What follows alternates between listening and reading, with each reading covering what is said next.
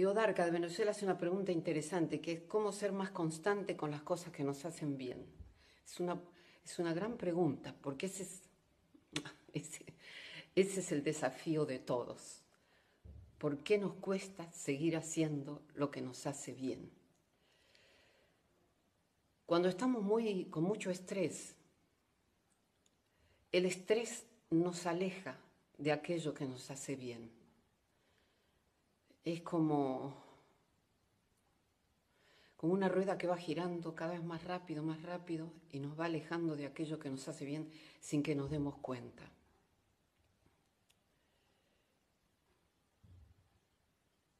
La perseverancia es una enorme virtud, porque no puede haber éxito sin perseverancia. Es la continuidad, es la continuidad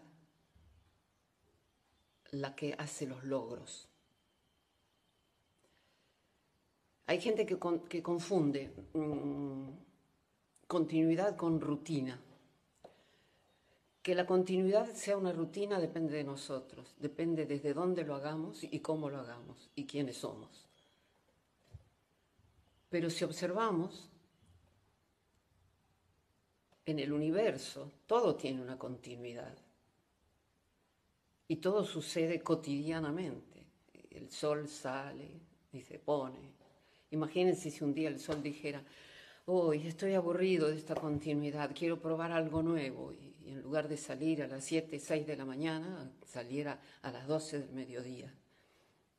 Hay una virtud en la continuidad, en la práctica continua de algo.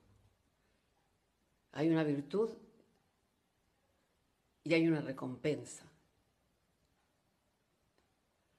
¿Cómo se entrena? La verdad que eso yo no lo sé.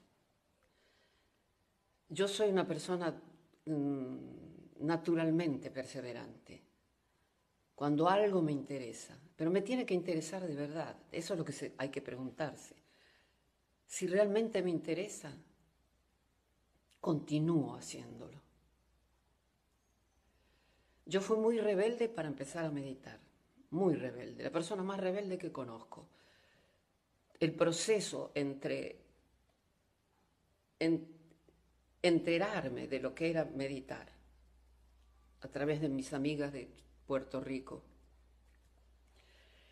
Y empezar a meditar llegó un proceso como de dos años y medio. Pero lo que supe cuando finalmente me decidí a hacer la experiencia y decir, bueno, ¿qué pierdo si pruebo?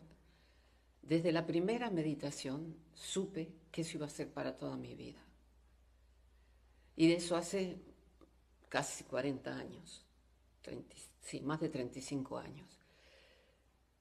No voy a decir que alguna mañana en el tiempo no lo hice por algún viaje, por alguna cosa personal, pero he meditado todos los días. Y me he preguntado, ¿me hizo bien? ¿Qué hice? Uno no, no está tan pendiente de eso. Uno lo único que se tiene que preguntar es cómo se siente. Y seguir haciéndolo. Lo que te hace bien, seguí haciéndolo lo que te hace bien, seguí haciéndolo. No permitas que el estrés, el mundo exterior, los estímulos de afuera, hagan que tu sistema de percepción esté siempre dirigido hacia afuera. En algún momento del día hay que dirigir ese sistema de percepción hacia adentro. Y eso nos hace sentir bien. Entonces, ¿por qué no seguir haciéndolo?